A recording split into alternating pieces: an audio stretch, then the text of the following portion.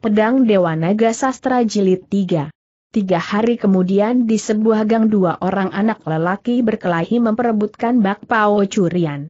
Kamu berikan tidak bentak anak yang tubuhnya ceking dan panjang kepada anak yang juga sama kurusnya hanya anak ini lebih pendek dan lebih muda. Tidak teriak anak itu terus melawan, dua anak kecil itu bergulingan.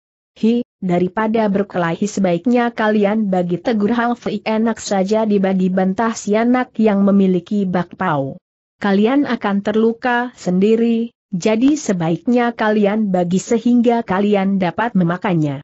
Aku tidak mau bagi sahut anak yang hendak merampas bakpao, lalu menyerang Hang Fei, Hang Fei menghindar, dan Arna terus dikejar dan didesak anak tersebut, Hang Jin pun melawan, keduanya saling pukul, sementara anak yang punya bakpao memakan langsung bakpaonya hingga habis, dengan senyum ia meninggalkan perkelahian antara Hang Fei dengan lawannya. Anak itu sudah pergi, teriak Hang Fei. Ini gara-gara kamu yang usil mencampuri, sahutnya sambil berdiri dari tubuh Hang Fei, keduanya sama-sama terluka, kamu dari mana tanya lawan Hang Fei. Aku dari Chongqing, dan kamu dari mana dan siapa namamu? Tanda tanya. Aku dari Wuhan. Lalu namamu siapa aku Hon Hang Fei? Aku Kampeng, sahutnya, lalu pergi dari gang itu, Hang Fei menyusulnya masuk ke dalam pasar untuk mengemis lagi. Dua hari kemudian Kampeng berlari dari kejaran penjual bakpao, dia dengan cekatan berlari di antara kerumunan orang, dan hilang di sebuah gang, tidak lama kemudian Hang Fei melihat anak yang melawan kampung juga lari menyelinap di antara kerumunan orang dan menghilang di sebuah gang. Hari itu Hang Fei tidak mendapat belas kasihan, ia melangkah untuk duduk di sebuah gang karena badannya lemas. Seorang kakek muncul bersama dua anak pengemis yang baru saja mencuri, si kakek berjalan dengan batuan tongkatnya yang berkepala ular, Kedua anak itu berjalan di belakang si kakek dengan muka babak belur, namun keduanya berjalan sambil makan bakpao, menjerit perut Hang Fei melihat dua anak itu makan bakpao dengan nikmat, keduanya lewat tanpa menegur Hang Fei. Kampeng seru Hang Fei, kakek itu menoleh pada Hang Fei apa kamu mengenal pengemis ini Pengji? Benar suhu, dia itu sangat usil, sahut Kampeng kalau usil, sekarang kamu pukul dia perintah si kakek. Sipakah kakek itu kakek itu bukan orang tidak terkenal, bahkan ia adalah seorang datuk dunia persilatan yang kita kenal dengan sebutan Choatung Mokai. Choatung Mokai sedang duduk melengut di sebuah emperan toko, dua anak bertabrakan di depannya, lalu keduanya berkelahi habis-habisan. Hehehe, hehe, hahaha, bagus. Pukul, tendang, ah, memalukan kenapa pakai gigi, ah, rambut kenapa dijambak tanda tanya teriak Coatung Mokai. Memanas-manasi perkelahian antara kampung dengan anak tersebut. Tubuh keduanya bergulingan di tanah sudah, sudah, seru Coatung Mokai menghentikan keduanya. Tanpa bergerak dari tempat duduknya, kedua anak itu mengapun seperti dua kucing diangkat tangan tidak kelihatan. Titik dua hehehe, hehehe, tubuh kalian ternyata kuat, dan tulang kalian bagus, Kampeng dan lawannya terkejut dan terkesima, keduanya berpikir tentunya kakek ini orang sakti, kakek itu seperti tidak berbuat apa-apa, tapi namun mereka terapun di awang, kemudian, buga, buga, keduanya jatuh ke tanah. Kakek sakti ajarilah aku seperti yang kakek lakukan tadi, ujar Kampeng. Aku juga kakek selah anak lawan Kampeng.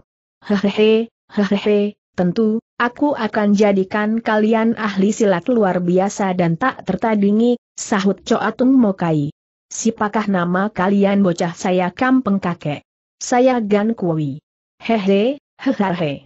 Pengji dan Kuiji sekarang kalian berlutut dan panggil aku Suhau, ujar Coatung Mokai, lalu keduanya berlutut. Tecu memberi hormat pada Suhau, ujar keduanya serempak bagus, sekarang kalian harus menuruti segala perintahku, ayo kita pergi, ujar Coatung Mokai, Coatung Mokai berdiri dan diikuti oleh kedua murid barunya, dan bertemu dengan Hang Fei di lorong dang. Kampeng mendekati Hang Fei dan mengayun tinjunya, Hang Fei tidak mau jadi sasaran, lalu keduanya berkelahi ditonton Coatung Mokai dan Gan Kui. Duk, duk, bag, bag, suara pukulan-pukulan menghantam tunuh keduanya, walaupun tubuh Hang Fei lemas karena lapar. Dia tetap gigih melawan dan tidak mau menyerah pada kampeng, kemudian Mokai melerai keduanya. Siapa namamu bocah tanya Mokai aku Hon Hang Fei, sahut Hang Fei. Kamu harus ikut dengan kami, tapi bukan sebagai muridku, karena aku sudah mempunyai dua orang murid.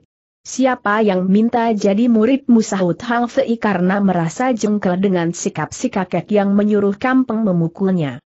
Bagus, dan kamu akan tetap ikut dengan kami sebagai jongos, ujar Mokai. Sekarang aku lapar, lalu bagaimana aku bisa mengikuti kalian? Tanda tanya sahut Hang Fei.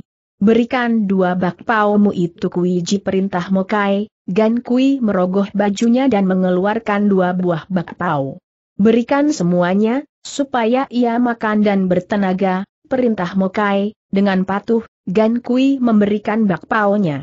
Han Hang Fei makan bakpao dengan lahap, setelah sebuah habis Hang Fei sudah diajak jalan dan mengikuti Mokai, Cho Atung Mokai membawa mereka keluar kota Yinchan, dan berkelana, pada saat mereka istirahat mentah di hutan di atas bukit kampeng dan Gan Kui dilatih oleh Datuk Kosen ini, sementara Hang Fei hanya menonton sambil istirahat karena kelelahan membawa beban, tiga buntalan suhu dan dua murid itu dibawa oleh Hang Fei, Hang Fei tidak mengeluh, karena selama ia dapat makan, pekerjaan sebagai jongos itu dapat ia terima. Choa Tung Mokai membawa merakah Huang San, tempat di mana selama ini ia berdiam, sebagai raja pengemis segala. Kebutuhannya dipenuhi ratusan anak buahnya, dan tidak terasa waktu sudah berjalan dua tahun, Han Hang Fei sudah berumur sepuluh tahun, Gan Kui sebelas tahun dan Kampeng dua belas tahun, selama itu Kampeng dan Gan Kui sudah banyak menerima pelajaran dan latihan dari suhu mereka, sementara Hang Fei tetap jadi jongos di tempat kediaman Mokai. Hang Fei cepat ke sini seru Gan Kui.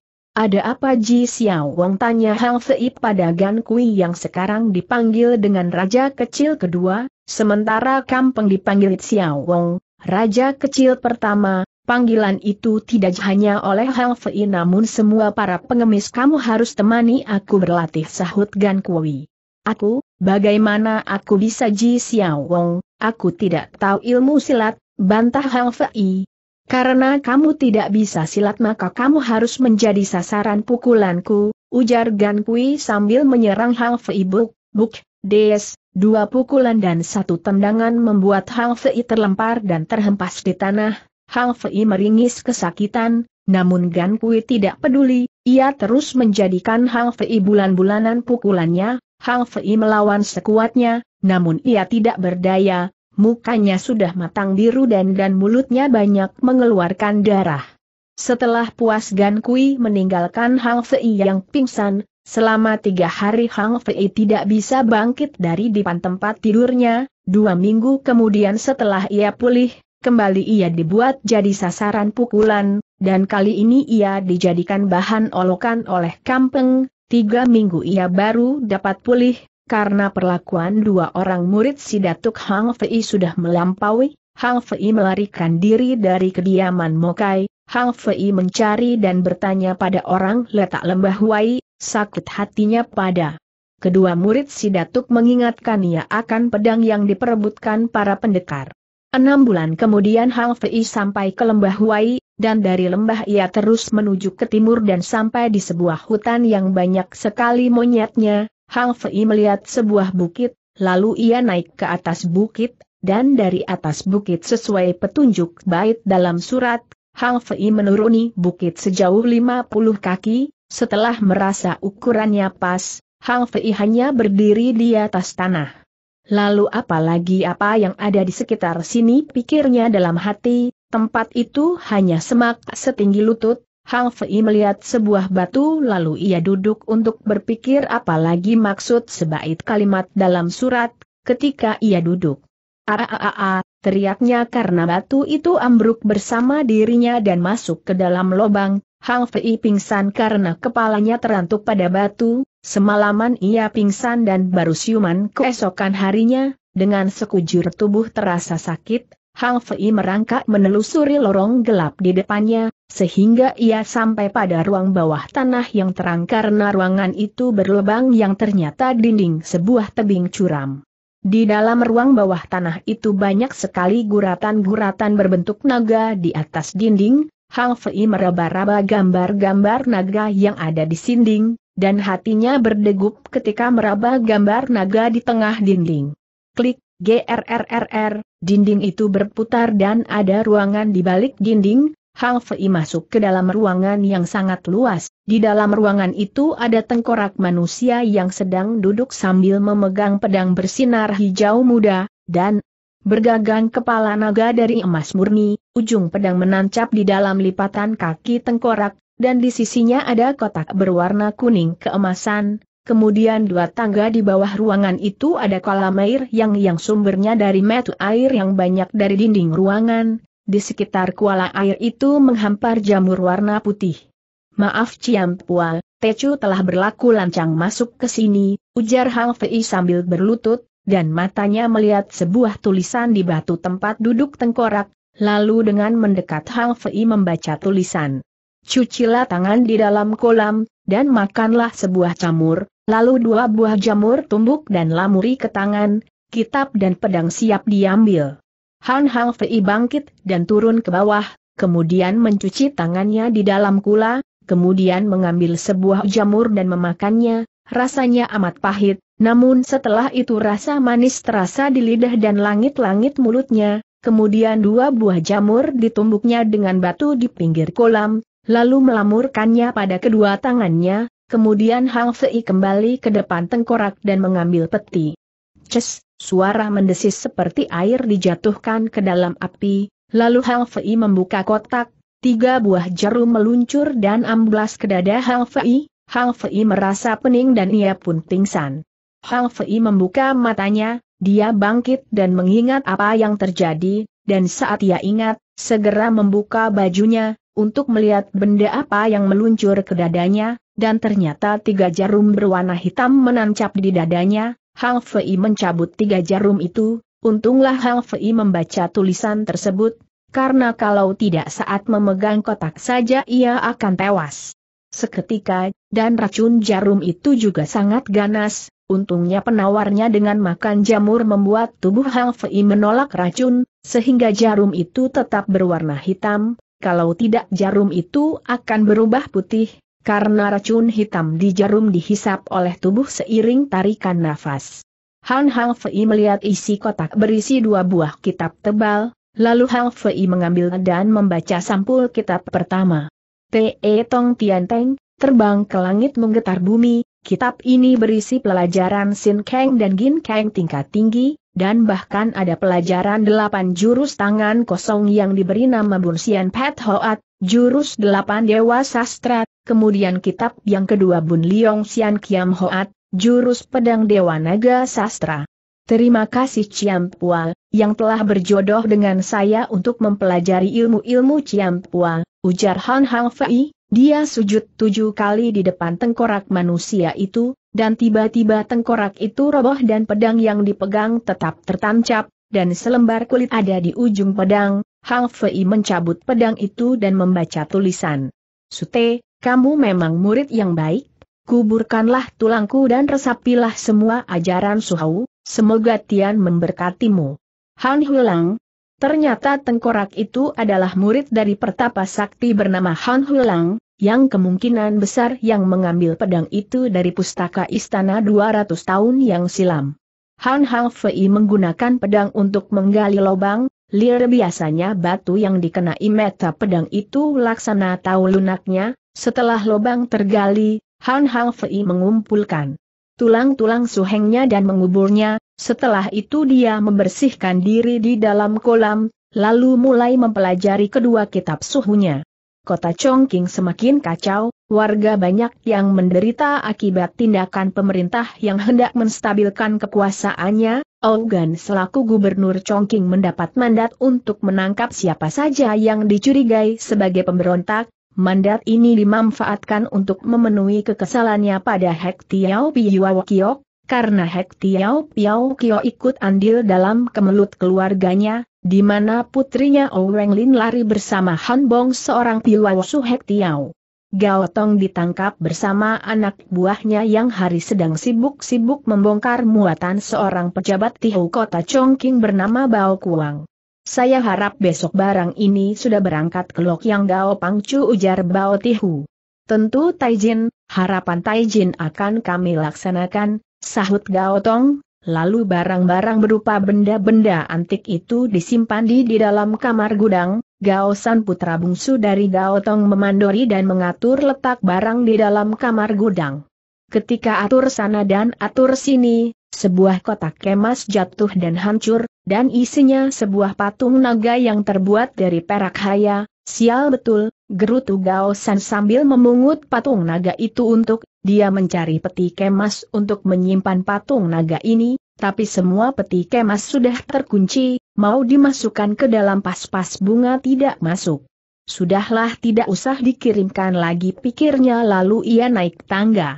Ketas dan meletakkan patung itu di loteng kamar, dan dia pun keluar.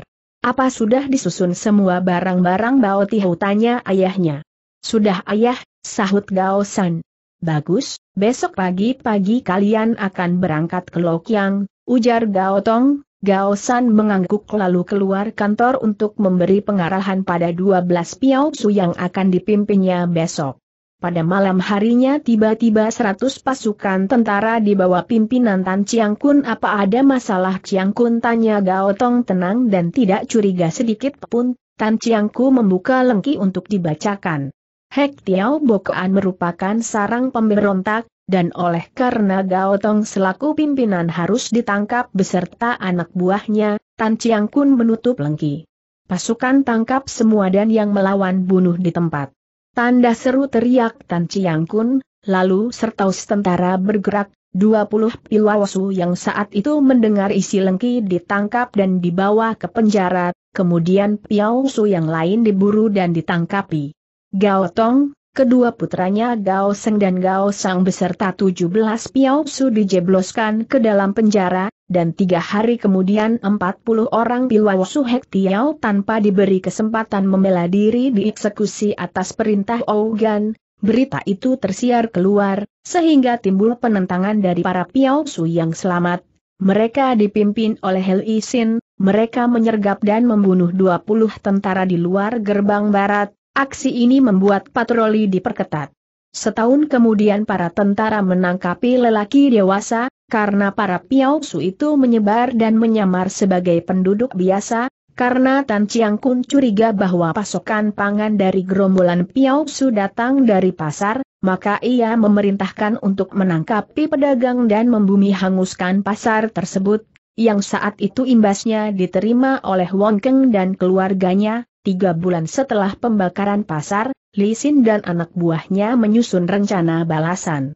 Apa yang dilakukan oleh gubernur sangat tidak berperi kemanusiaan dan membabi buta, warga yang tidak tahu apa-apa dan pembakaran pasar yang menelan banyak korban jiwa bukti kesadisan dan keberutalan gubernur, ujar Li Xin jadi apa yang harus kita lakukan tua tanda tanya-tanya Jiang Bao oleh karena gerakan kita yang menentang gubernur yang mengeksekusi Pangcu, maka menurut saya untuk membalaskan dendam warga dan piau kiok kita, maka kita harus menyusup ke kediaman gubernur untuk membunuhnya. Benar saya setuju Tuako, marilah kita susun strategi penyusupan tersebut, Selato Anjin Kepala Piau suruh Chongking ke Chengdu. Baik, rencana penyusupan kita bagi dua, pertama kelompok yang menyusup ke rumah gubernur dan yang kedua kelompok yang menyusup ke kediaman Tan Chiang Kun. Siapa yang akan menyusup ke kediaman gubernur tanya Lo Liang. Yang menyusup ke rumah gubernur saya, Liang Gan, Cupang dan Bukim dan 20 pasukan pendam bersembunyi di sekitar kediaman gubernur, kemudian yang menyusup ke kediaman Tan Chiang Kuntoan Sichu, Lo Liang, Jiang Bao dan Lu. Bok, kemudian 20 pasukan pendam bersembunyi di sekitar kediaman Tan Chiang Kun. Kapan kita beraksi Litua kotanya Liang Gan? Kita beraksi tiga hari lagi setelah upacara lilin, kita yang menyusup akan menyemar pada upacara itu. Baik demikianlah kita laksanakan selatu anjin, semua mengangguk, tiga hari kemudian upacara lilin pun tiba, dan pada dini harinya, empat bayangan mendekati kediaman gubernur, mereka adalah Lisin dan tiga rekannya, empat orang penjaga di pos depan, dengan hati-hati dibekuk dan dibunuh. Pakaian empat mayat itu dilucuti untuk dipakai sebagai penyamaran lalu mayat penjaga itu disembunyikan, demikian juga yang terjadi di kediaman Tan Chiang Kun yang dipimpin oleh Toan Jin. Saat matahari terbit baik gubernur dan Chiang Kun berkemas diri menuju kelenteng untuk mengadakan upacara lilin, iring-iringan tentara pun mengawal gubernur, Li Xin dan tiga orang rekannya sudah membaur dengan iringan pengawal gubernur, upacara selesai sampai sore hari, lalu gubernur dan Chiang Kun kembali ke kediaman masing-masing, sesampai di rumah, gubernur langsung istirahat dan tertidur pulas, Li Xin dan tiga rekannya beraksi. Ada apa tanya pengawal dalam kepada Li Xin yang datang bersama Liang Gan. Kami dari penjaga posko menerima surat dari Tan Chiang Kun, dan kata pengawal Chiang Kun sangat rahasia dan penting untuk segera diketahui oleh Taijin. Tapi Taijin sedang istirahat, sahut pengawal itu. Saya yakin ini adalah tentang pemberontakan, karena kami tanya kenapa tidak disampaikan pada waktu Taijin bersama. Chiang Kun, lalu mereka jawab, Chiang Kun juga baru menerima informasi dari penyelidik sesampai di rumah sehingga Chiang Kun segera menulis surat, ujar Lisin, Pengawal dalam itu meragu, sesaat hening. Baik tunggu sebentar, sahut pengawal itu, lalu dia mengetuk pintu dan menyeru dengan nada ragu. Sialan, ada apa? Tanda tanya teriak Owegan dari dalam dengan nada marah, pengawal itu menelan ludah saking cemasnya Taijin, Tan Chiang Kun mempunyai informasi penting untuk diketahui Taijin, sahutnya dari luar kamar, Ogan membuka pintu, saat pintu terbuka Li Sin bergerak dengan cepat melempar tiga buah pisau sekaligus. Cep, agak, sebuah pisau menancap di kening, kemudian di leher dan di dada, Ogan menggelepar bersimbah darah, dua orang pengawal dalam terkejut dan terkesima, namun Liang Gan yang dalam rencana langsung menyerang pengawal dalam, Untungnya pengawal dalam tangkas di tengah keterkejutan masih bisa mengelak dan hanya bajunya yang disabet pedang. Pemberontak menyusup teriak dua orang pengawal dalam sambil terus melakukan perlawanan kepada Lisin dan Liang Gan, teriakan itu menggugah pasukan yang berjaga di teras depan, sehingga mereka berlarian ke kamar gubernur, pertempuran pun makin ramai, Sementara 20 piau sumerangsak masuk ke dalam kediaman gubernur, setelah mendapat isyarat dari cupang yang menjaga pos luar, perang kecil pecah di halaman rumah gubernur, suara beradunya senjata dan jeritan korban berjatuhan terdengar di sana-sini, 20 piau sedapat mungkin menjatuhkan korban. Sebanyak-banyaknya sebelum mereka jadi korban, selama tiga Jam pertempuran itu berlangsung dan malam pun sudah merambat, akhirnya 24 Piausu tewas semua, namun dari pihak pasukan gubernur ada 40 orang korban tewas dan 20 orang korban luka berat serta 10 orang luka ringan. Sementara Chiang Kun sesampai di rumah dia tidak tidur, tapi dia minum-minum dilayani empat orang selirnya, Toan Jin dan tiga rekannya beraksi, Toan Jin dan Lubok datang menghadap ada apa kalian kemari tanya pengawal dalam. Kami hendak melaporkan surat yang dibawa pengawal Ong Tajin. Aneh, kenapa tidak disampaikan pada saat upacara? Hal ini memang mencurigakan, makanya kami segera ke sini untuk memberikan surat ini pada Chiang Kun. Ada apa ribut-ribut di situ tanda tanya selah suara Tan Chiang Kun dari dalam kamar, kemudian Tan Chiang Kun membuka pintu sir, Sir, eits, ahaha, serangkum jarum kecil dilempar Toan Jin, Tan Chiang Kun dapat berkelit, namun lemparan kedua yang mengarah ke muka walaupun masih sanggup dielakkan Tan Chiang Kun sebuah jarum menancap di lambungnya. Bunuh pemberontak, teriak Tan Chiang Kun, sambil menyerang Toan Jin, sementara dua pengawal menangkis serangan lubok.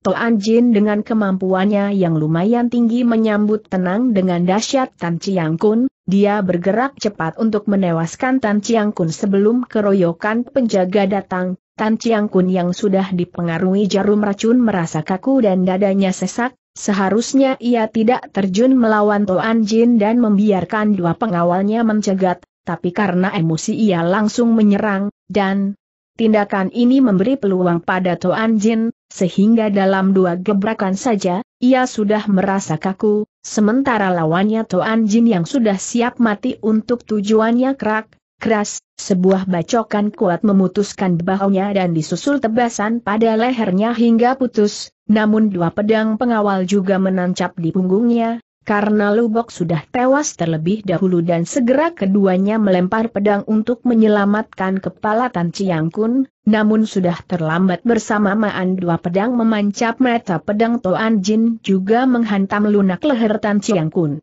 Sementara di luar Lo Liang dan Jiang Bao bersama 20 Piao Su mengadakan purang kecil bersama pasukan Chiang Kun, perlawanan mereka yang gigih hanya berlangsung satu jam, karena ratusan pengawal mengerubuti mereka sehingga mereka pun tewas semua, sementara dari pihak Chiang Kun hanya lima orang yang tewas dan dua luka ringan.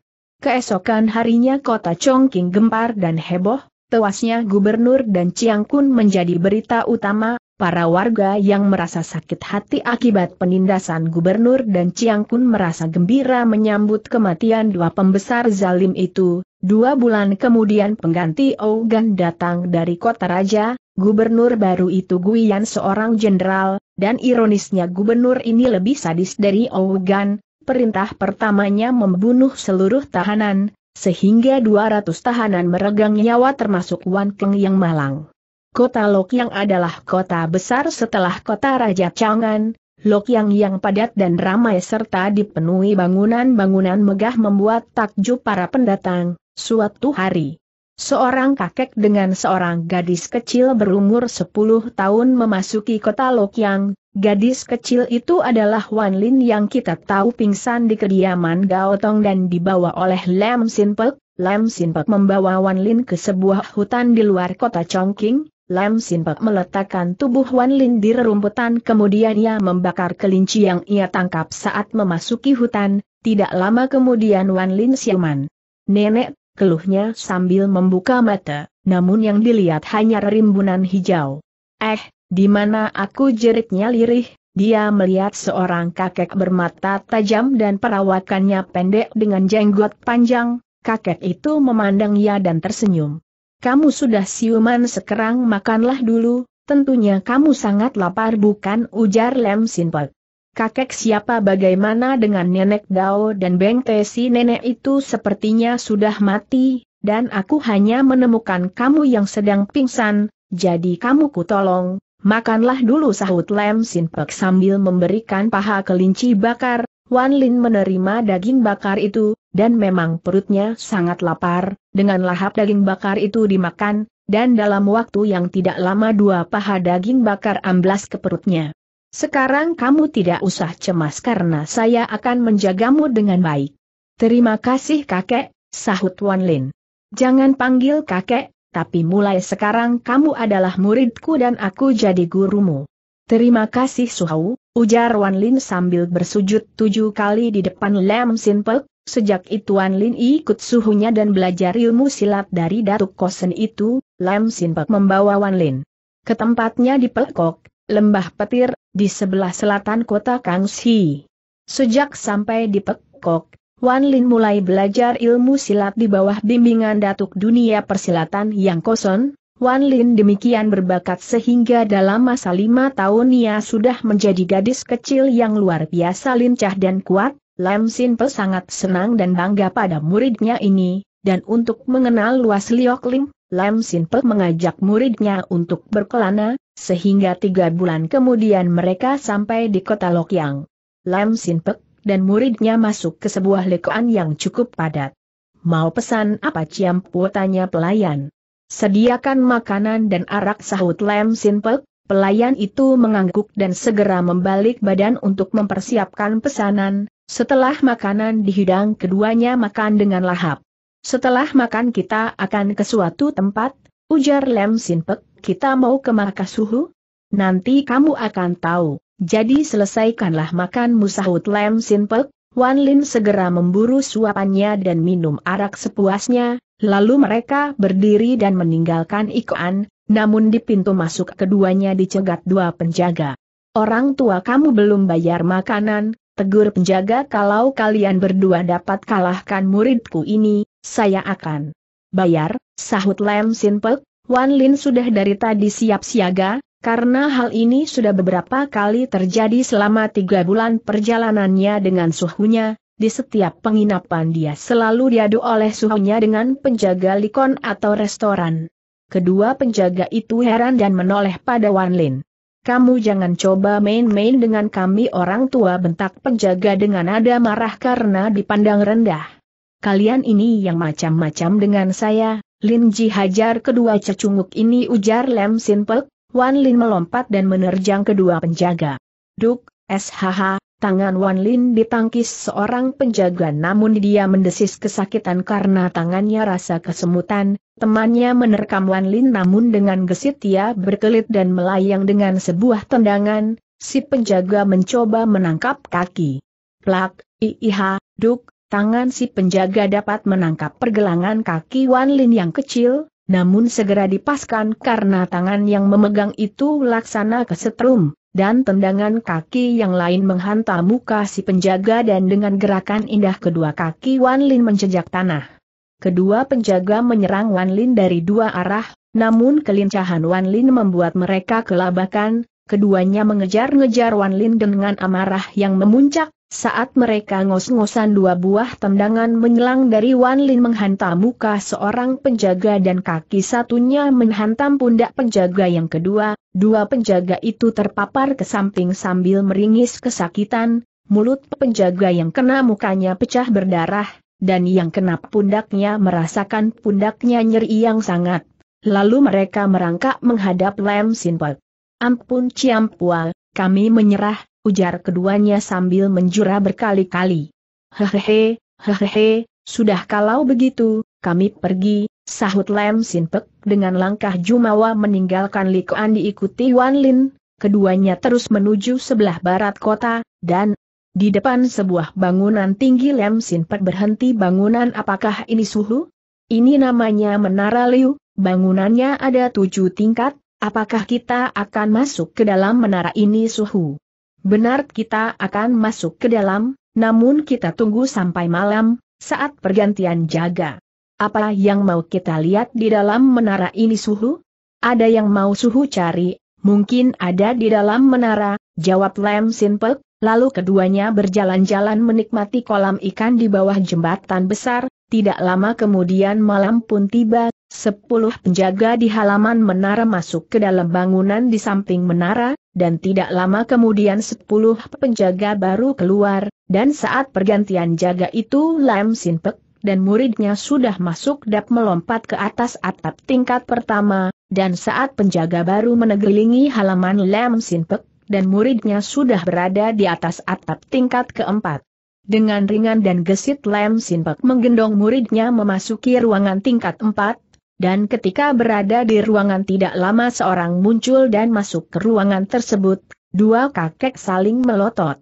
Hehehe, ternyata Lem Sinpek, ujar lelaki tua kurus dan tinggi rambutnya hanya ada di sekitar kepala, sementara di bagian tengah licin pelotos. Kamu untuk apa ke sini Liang Lomo tanda tanya. Hehehe, hehehe, emangnya kamu saja yang punya urusan? Tanda tanya. Sialan, kamu mengganggu saja, Lomo.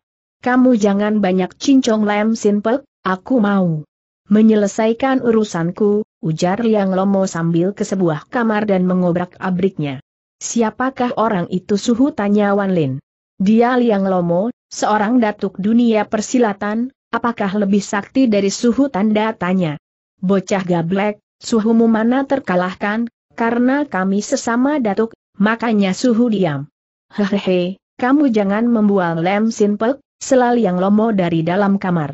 Cepat kamu selesaikan urusanmu Lomo dan Enyah dari sini sialan, tidak ada pun benda itu di sini, sumpah Liang Lomo dan keluar dari kamar yang kedua.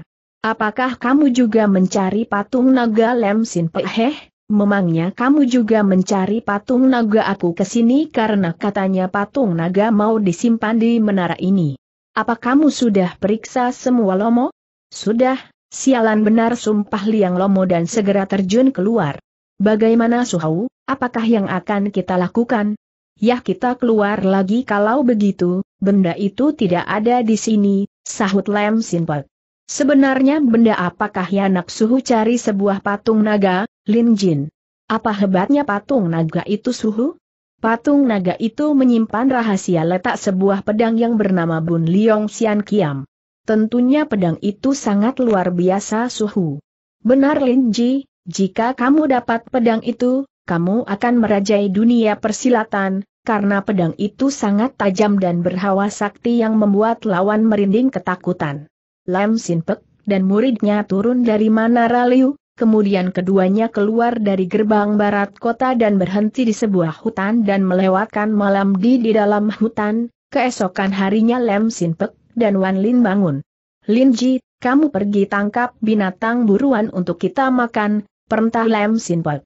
Baik suhu, sahut Wan Lin dan segera meninggalkan suhunya, Wan Lin masuk lebih dalam ke tengah hutan, seekor anak kijang sedang merumput di tepi sebuah sungai kecil, Wan Lin dengan cepat merotar sebuah batu. Trak, duk, batu menghantam kepala anak kijang, anak kijang itu sempoyongan dan jatuh, namun anak kijang berusaha berdiri, Wan Lin segera meloncat keluar dari persembunyian dan menangkap anak kijang yang hendak lari, namun sebuah bayangan kilat juga muncul dari arah berlawanan.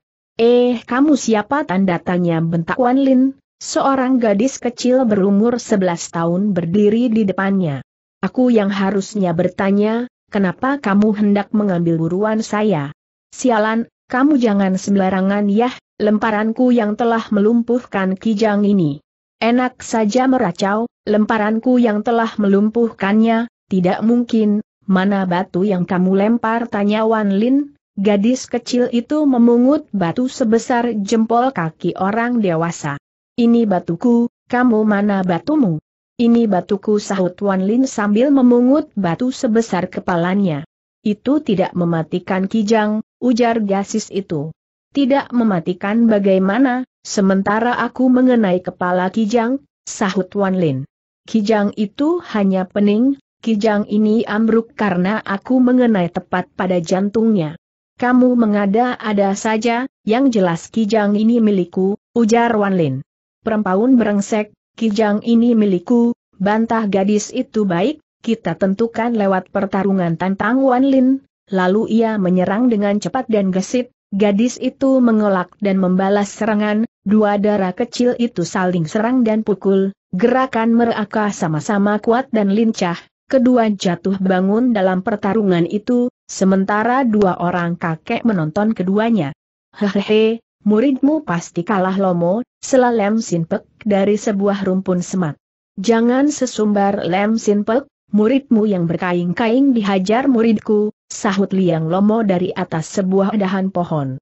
Satu jam sudah perkelahian dua darah kecil itu, namun keduanya seimbang dan keduanya sudah babak belur sudahlah kalian hentikan perkelahian, aku sudah sangat lapar, ujar Liang Lomo sambil turun dari dahan pohon, suhu aku belum kalah sahut muridnya. Aku juga belum kalah, ayo kita lanjutkan, tantang Wan Lin sudah Linji, lain kali dilanjutkan, sebab jika tidak, kita tidak jadi makan daging kijang, selalem simple, sambil melangkah mendekati Wan Lin.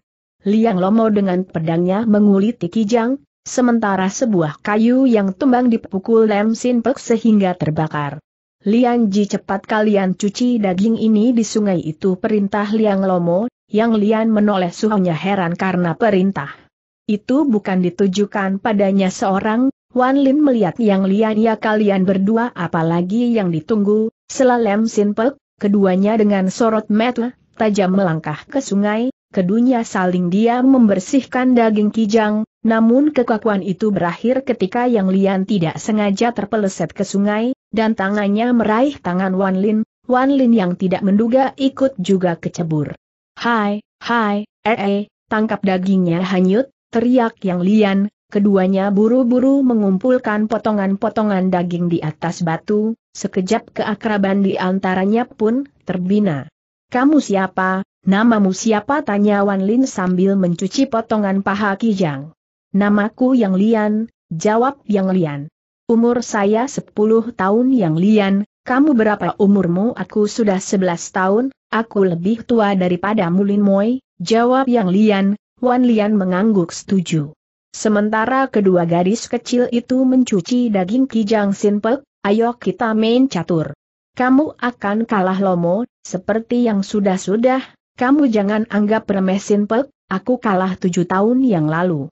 Baiklah, mari kita main sahut Lem Sinpek, Lomo membuka buntalannya dan mengeluarkan bungkusan yang berisi biji catur beserta papannya, sebentar saja keduanya sudah asik dengan permainan mereka, keduanya tidak lagi memikirkan sekitar mereka kecuali hanya memeras pikitan untuk menjalankan buah catur. Yang Lian dan Wan Lin sudah selesai membersihkan daging, lalu keduanya memanggang daging di atas bara api kayu yang terbakar, sementara dua datuk itu sibuk bermain catur di bawah. Pokok kayu, tidak lama kemudian daging-daging bakar itu pun matang, sepotong paha kijang mereka letakkan di samping kedua datuk yang sedang tenggelam dalam permainan, kemudian kedua gadis kecil itu makan daging bakar dengan lahap, setelah merasa kenyang keduanya menatap kedua suhu mereka, onggokan daging paha kijang masih utuh. Kedua datuk itu belum menyentuhnya sama sekali karena saking asyiknya permainan yang lakukan, kedua murid mereka juga tidak digubris, sehingga kedua gadis kecil itu bengong sendiri. Kemudian untuk mengurangi kebosanan, yang Lian mondar-mandir, Wan Lin mencabuti daun sambil bersandar di sebatang pohon. Kita mandiok, Tadi kan kita sudah basah, ajak Yang Lin ayok. Sahut Wan Lin bangkit dari duduknya, keduanya melangkah ke sungai, lalu keduanya mandi sambil bersenda gurau. Setelah keduanya puas mandi, lalu mengganti pakaian, sementara kedua datuk itu sudah melahap potongan daging kijang sambil main catur, Yang Lian dan Wan Lin sama-sama duduk bersandar dan mengibaskan rambut yang basah. Lian Cici sejak kapan kamu ikut suhumu tanya Wan Lin aku ikut suhu sejak bayi, jawab Yang Lian. Lalu orang tuamu bagaimana? Aku tidak mengenal orang tuaku, hanya aku tahu mereka tenggelam di laut karena sebuah badai, dan suhu menyelamatkanku, sahut Yang Lian. Memang demikianlah diceritakan Liang Lomo pada muridnya, hanya saja kenyataannya tidak seperti itu, karena kapal yang membawa keluarga yang Lian dirampok oleh Liang Lomo dan anak buahnya. Sebelas tahun yang lalu seorang saudagar kaya bernama Yang Kang di kota Fuzhou hendak berangkat ke kota Hangzhou bersama keluarganya untuk mengunjungi paman mereka, sebaiknya kita jalan laut saja Kang Ko karena melihat keadaan. Kakak ipar yang sedang hamil tua, dan juga ayah dan ibu sudah tua, ujar adiknya Yang Meng. HMH, ide kamu itu tepat juga Mengte, perjalanan darat tentu amat melelahkan bagi ayah dan ibu, sahut yang Kang menyetujui.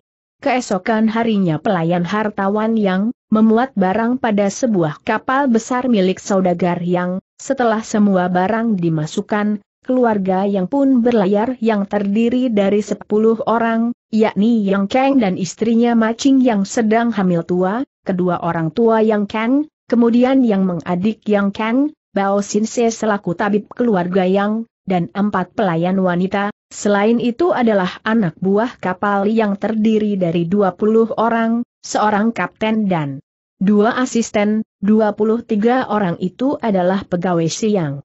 Kapal berlayar mulus melintasi lautan, kala senja Yang Kang dan istrinya menikmati senja merah mengiringi matahari yang hendak turun ke peraduannya di ufuk barat, setelah malam tiba keduanya turun dan masuk ke ruangan kapal yang tergolong mewah, empat pelayan sibuk menghidangkan makan malam. Ayah mengte di mana? Tanya yang keng pada ayahnya. Mungkin masih di luar, sahut ayahnya, tidak lama kemudian yang mendatang, lalu mereka pun makan, setelah makan sambil bercakap-cakap mereka melewatkan malam, Macing mengisyaratkan pada suaminya untuk istirahat, yang Kang dan suaminya masuk ke dalam kamar, tidak lama kemudian Yang Loya meninggalkan Yang Meng dan Bao Sinse yang masih asik bercakap-cakap.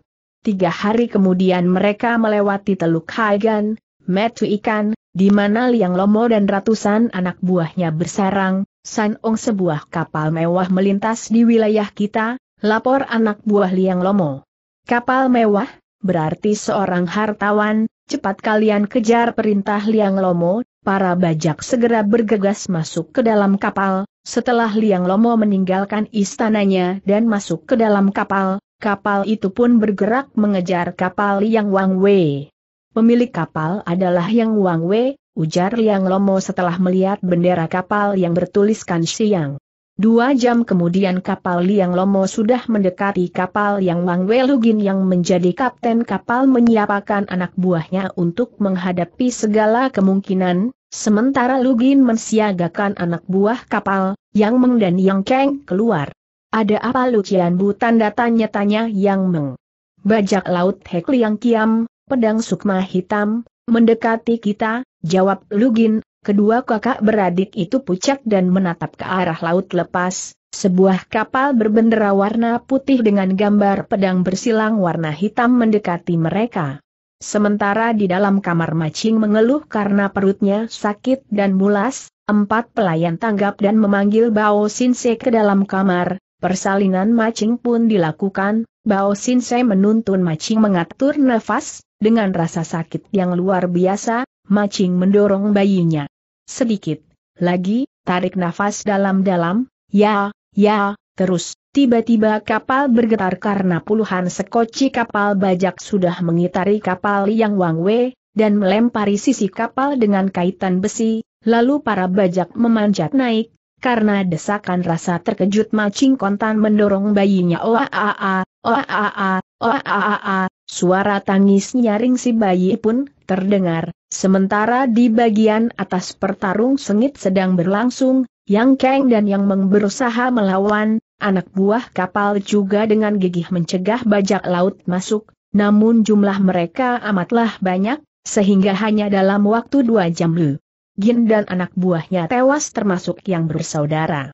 Lima bajak segera masuk ke ruang kapal, dua orang pelayan wanita beserta Bao Sinse yang sudah menyelesaikan persalinan terkejut, namun sabetan pedang dua bajak menghabisi nyawa mereka, Kemudian mereka mendobrak kamar-kamar melihat apa ada lagi orang yang tersisa, saat dua orang bajak mendobrak kamar yang loya, suami istri menjerit ketakutan, namun dengan brutal suami istri Shi yang yang sudah lanjut usia itu menjadi sasaran senjata, Shi yang bersimbah darah digorok dua bajak yang haus darah. Sementara dua bajak mendobrak kamar macing, dua pelayan terkejut, Muka Macin yang memang pucat sehabis melahirkan semakin pucat, namun wajah-wajah ketakutan itu membuat dua bajak bergembira dan semakin brutal, teriakan histeris tiga wanita itu menyayat hati saat pedang-pedang itu berkebuatan di tubuh mereka, dan semua jeritan itu berbaur dengan lengkingan tangisan bayi macing, Liang Lomo yang mendengar lengkingan tangisan bayi. Bawa ke sini bayi itu teriaknya dari atas kapalnya dan Perintah itu didengar dua bajak yang hendak memembas bayi merah itu, keduanya berhenti, dan seorang langsung menyambar bayi dan keluar dari ruangan, terus ke atas dan mengangkat bayi itu ke arah Liang Lomo. Luar biasa bayi itu melayang ke arah kapal Liang Lomo yang jauhnya sepuluh tombak, terus mendekat dan menempel di tangan Liang Lomo yang mengerahkan Sin Kang menarik bayi itu, bedengan bayi dibuka, Liang Lomo melihat bayi perempuan yang cantik. Hahaha, hahaha, bayi yang mungil, ayo, cepat bawa kapal ini ke markas dan semua mayat buang ke laut perintah Liang Lomo, para bajak membuangi seluruh mayat di kapal siang, dan kapal itu dibawa ke markas mereka di Teluk Haigan. Kapal yang Wang Wei dirawat baik-baik karena kapal itu cantik dan mewah, kapal itu menjadi pajangan indah di sisi Teluk Haigan, sementara tiga kapal mereka yang besar beroperasi di lautan untuk membajak kapal-kapal yang lewat, bayi yang Kang dirawat dan dibesarkan oleh Liang Lomo, dan anak itu diberi nama Lian, dan Shi yang dipakai tetap Shi ayahnya yakni Yang. Yang Lian tumbuh sehat di antara para bajak laut, Liang Lomo mengajari ilmu silat kepada Yang Lian sejak umur lima tahun, bakat serta daya tangkap yang Lian sangat mengagumkan sehingga membuat Liang Lomo senang dan gembira, umur 9-10 tahun, yang Lian sudah mampu mengalahkan anak buah suhunya, para bajak memanggil Yang Lian dengan sebutan Xiao Hong, Ratu Kecil. Ketika ia menanyakan tentang orang tuanya, Liang Lomo dan seluruh bajak yang tinggal di Teluk Haigan mengatakan bahwa orang tuanya tewas di Amuk Badai, dan hal itu dipercaya benar oleh Yang Liang karena suhunya sangat menyayanginya, bahkan semua bajak memanjakannya dan menghormatinya, dan Yang Lian pun sangat hormat dan sayang pada suhunya. Setahun kemudian umur Yang Lian sudah 11 tahun, ia dan suhunya memasuki perahu mewah dan indah yang mengapung di sisi teluk, Liang Lomo membawa muridnya menikmati pemandangan laut dan melihat terumbu karang yang tumbuh di dalam laut, setelah merasa puas, keduanya kembali ke Teluk Sanong. Sai Chu Bin, si muka singa, memberi laporan bahwa kalangan pendekar sedang memperebutkan Bun Liong Sian Kiam dan datuk yang lain juga sudah muncul. Di mana sekarang keberadaan Bun Liong Sian Kiam?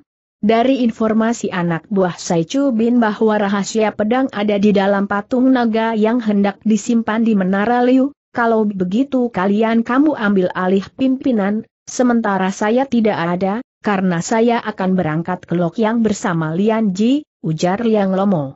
Liang Lomo dan Yang Liang berangkat keesokan harinya dan Liang Lomo mengajak muridnya untuk berlari cepat melintasi hutan dan lembah, sehingga lima bulan kemudian mereka sampai di kota Lokyang, dan saat malam tiba Liang Lomo meninggalkan Yang Lian di penginapan dan menaiki Menara Liu dan bertemu dengan Lam Sin Pek, dan karena barang yang dicari tidak ada Liang Lomo kembali ke penginapan, dan pagi-pagi sekali Liang Lomo mengajak muridnya meninggalkan kota Lokyang dan istirahat di hutan, bahkan bertemu lagi dengan Lam Sin Pek, karena dua murid mereka berkelahi memperebutkan Kijang. Hehehe, kali ini kita seri dan lain kali aku akan mengalahkan Mulem Sinpek, ujar Liang Lomo, kemudian menyambar muridnya dan berkeluar dari tempat itu, Lam Sinpek juga mengajak Wan Lin meninggalkan hutan tersebut. Lam Sinpek mengajak muridnya berlari cepat, Wan Lin mengerahkan ginkangnya, ia laksana terbang mengikuti suhunya, sehingga saat senja mereka sampai di sebuah lembah, lalu mereka istirahat. Sambil memanaskan sisa daging kijang tadi pagi, Wan Lin bertanya pada suhunya. Suhu siapa lagi yang setingkat dengan suhunya yang lian itu di dunia persilatan ini ada enam datuk yang tingkatannya luar biasa dan seimbang. Siapa-siapakah itu suhu? Salah satunya tentu suhumu ini yang disebut Datuk Selatan, Lalu siapa lagi suhu tanya Wan Lin penasaran. Ada Pak Kuai Datuk wilayah utara, Pek Emo UHKWI di wilayah timur, lalu si Tengkui Datuk di wilayah barat, kemudian, siluman terbang dari barat, dan kemudian Liang Lomo Datuk para bajak dan rampok dan yang terakhir Coatung Mokai Datuk para pengemis. Suhu sepertinya akrab dengan Liang Lomo, ujar Wan Lin kami bernam sangat akrab, karena kami bernam satu aliran. Apa maksud satu aliran suhu? Satu aliran maksudnya kami bernam sama-sama bebas untuk melakukan apa saja yang kami inginkan, dan karena memang. Demikianlah tujuan kita memiliki ilmu, supaya kita bebas berbuat apa saja yang kita mau dan tidak ada yang menghalangi, kita akan terhindar dari tekanan orang lain, karena kita punya ilmu yang kuat dan sakti, kamu juga mesti belajar dengan giat, sehingga kamu dapat melebihi suhu dan menguasai dunia, urai Lem Sinpek, Wan Lin menyerap care pandang suhunya dan mematrikannya dalam hati. Selama dua minggu Lem Sinpek dan muridnya berdiam di lembah yang indah itu, dan sekaligus melatih Wan Lin, kemudian keduanya melanjutkan perjalanan, dua minggu kemudian mereka sampai di kota Hopi, di halaman sebuah bukuan sedang terjadi pertarungan sengit, Wan Lin membaca papan nama perguruan yang terpampang di atas gerbang pagar, Sin Wan Bukuan, perguruan Lutung Sakti, Lam Sin Pek memasuki halaman dan menonton pertarungan, dua murid Sin Wan Bukuan datang mendekat. Orang tua apa kamu teman pengacau itu? Sialan, plak, bentak Wan Lin sambil menampar murid yang bertanya, murid itu terkejut, Sambil meraba pipinya yang terasa panas melihat Wan Lin, Kejadian itu membuat murid yang lain terkejut dan datang mendekat. Kalian mau apa tanda tanya gertak Wan Lin maju menyambut empat orang murid. Gadis kecil sialan balas seorang murid yang menjadi murid kepala membentak. Kamu yang sialan balas Wan Lin dan dengan cepat yang melompat menerjang hendak memukul si murid kepala, dalam empat gebrakan ia masih mampu mengelak dengan kalang kabut, namun pada jurus berikutnya, saat ia hendak membalas memukul Wan Lin yang sedang berjumpalitan. Wuut, Des, Aguh. Pukulannya luput kaptena tubuh Wan Lin yang gesit melayang hingga ke atas kepalanya, dan kaki Wan Lin yang kecil mencium ubun-ubunnya, dia menjerit karena kepalanya serasa ditimpa balok yang besar. Dua kausu yang sedang bertarung berhenti, tapi setelah mati mereka menatap lelaki tua yang berdiri di samping sambil menonton pertarungan gadis kecil dengan murid Sinwan berhenti, maafkan keteledoran muridku Ciampua, ujar Sinwan Kausu sambil menjura dalam. Hehehe, hehehe, sudah kami pergi, aku hanya sekedar lewat, sahut Lem Sinpek dan berkebuat dari tempat itu, Wan Lin tanpa basa-basi juga melompat mengejar suhunya. Bodoh, Untung saja Lem Sinpek anginnya sedang baik, kalau tidak kita setidaknya akan terluka parah dihajarnya. Apakah orang tua Lem Sinpek suhu tanya murid yang mendapat gambaran dari Wan Lin. Goblok kamu, tidak tengok orang, bentak gurunya. Ayo kita lanjutkan pertarungan kita tantang lawannya, orang itu adalah si Toya Mas yang pernah mendatangi rumah Gaotong untuk mencari patung naga, dia datang menantang Sinwan bukaan yang dipimpin oleh Losi yang berjulukan Sinwan. Baik, terima seranganku sahut Sinwan menyerang dengan lompatan lutung yang gesit, Kimpang mengelak dan membalas, pertempuran kembali berlanjut, namun sampai siang hari keduanya seimbang dan akhirnya keduanya roboh dengan luka dalam yang cukup parah. Kimpang dengan langkah tertatih-tatih meninggalkan bukaan, Sementara Sin Wan juga dipapah dua orang muridnya ke dalam rumah. Liong Tek, Puncak Naga, sebelah selatan kota Yingchuan berdiri sebuah pondok yang besar, seorang remaja muda berumur 15 tahun sedang berlatih dengan giat, gerakannya lincah dan sangat ganas, tubuhnya berotot penuh keringat berkilau ditimpa cahaya matahari, seorang kakek bertubuh cebol sedang mengawasi remaja tersebut, Senyumnya tersungging melihat hasil yang dicapai muridnya yang sejak umur tiga tahun bersamanya, anak remaja itu adalah Wan Beng, namun Pak Kuai Lo memanggil dia dengan nama Zhou Peng, Shi Zhou diambil dari si Pak Kuai Lo sendiri. Suhu bagaimana gerakan kutanya Zhou Peng? Sudah bagus dan menggembirakan, dua tahun lagi ilmu yang kuarsikan akan sempurna kamu kuasai. Terima kasih suhu, sahut Zhou Peng sambil menjura. Cepat kamu bersihkan dirimu dan siapkan bekal kita, kita mau ke mana suhu tanya Zhou Peng. Kita akan turun gunung untuk mengurus sesuatu, sahut Pak Kuai Lo, Zhou Peng segera pergi ke tempat pemandian, dia sangat gembira, karena akan turun gunung, selama ini ia hanya giat berlatih di puncak, dan kadang ditinggal oleh gurunya, namun kali ini gurunya mengajaknya. Zhou Peng dengan cekatan mempersiapkan bekal perjalanan, dan sore itu juga mereka menuruni Liong Tek, seminggu kemudian Pak Kuaelo dan muridnya sampai Chunan, keduanya memasuki Likoan dan memesan makanan, pengunjung Likoan itu tidak seberapa, dari 12 meja hanya diisi 5 meja, kemudian seorang lelaki tua berbadan gemuk berpakaian lama warna hitam memasuki Likoan bersama pemuda bermata sangat sipit. Ho, ho, hehehe, ternyata Pak Kuaelo, Sapa lelaki tua itu sambil duduk dekat meja Pak Koilo. Kamu si Hui Kui, apa kabarmu sahut Pak Koilo? Aku baik-baik saja Pak Koilo, eh kamu sudah tahu tidak apa maksudmu si Hui Kui? Bahwa kita diundang pada pertemuan Liok Lim hari ke-15 bulan ke-5. Belum, saya tidak mendapatkan undangan. Mungkin mereka tidak tahu tempatmu, tapi undangan ditujukan pada kita bernam. HMH, hal undangan apa tanya Pak Kuai Lo kalangan Liok Lim aliran kita hendak membicarakan. Perkembangan aliran kita yang akan dilaksanakan di Hwe Atek, Puncak Kembang, di Chang'an. Apakah pemuda remaja itu muridmu Pak Kuai Lo benar si Tengkui, namanya Zhou Peng?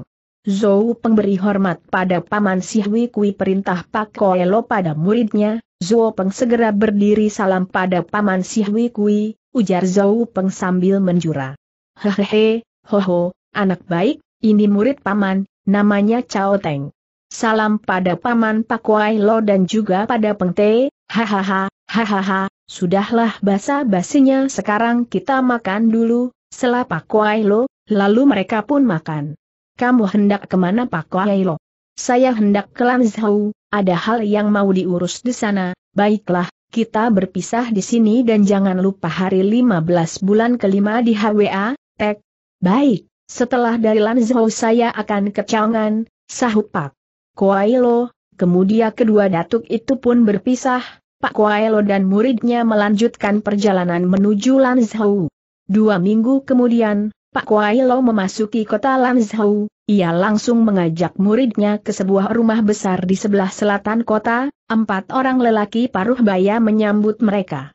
Selamat datang Ciampua, sapa mereka sambil menjura selamat berjumpa, apa semuanya sudah hadir si Heng, empat elemen?